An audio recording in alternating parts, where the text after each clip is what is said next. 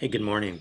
Today we're going to go surfing with the Insta360 Go 3, which is a tiny little camera, action camera, that I've had for a little while.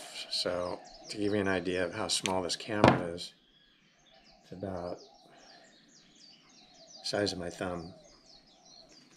So what we're going to do is we're going to mount it using the hat clip.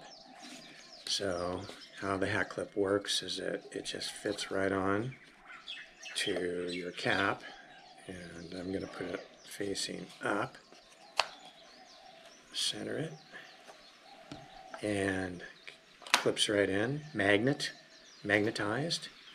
And then just to be on the safe side I'm going to put a lanyard on my cap so I don't lose it like that.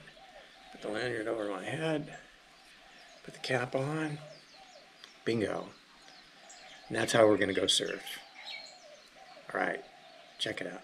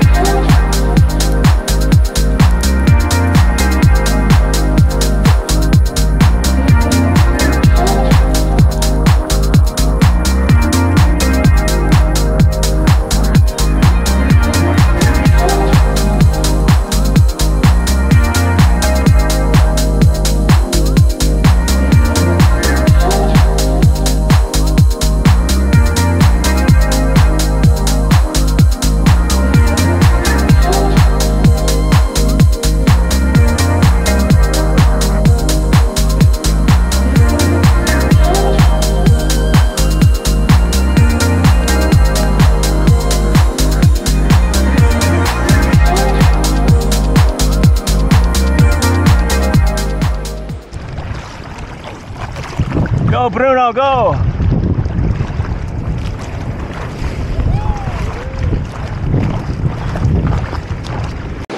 There goes Mark. Okay, he's going left.